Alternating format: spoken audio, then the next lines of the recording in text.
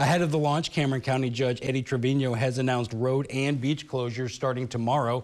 Beach access will be closed from 8 a.m. to 4 p.m. Trevino says SpaceX personnel and law enforcement will be patrolling to prevent anyone from entering the closed areas. Two checkpoints on State Highway 4 will be in place for residents who live in the area. A proof of residence will be required to pass through. Any updates to road and beach closures can be found on our website, valleycentral.com.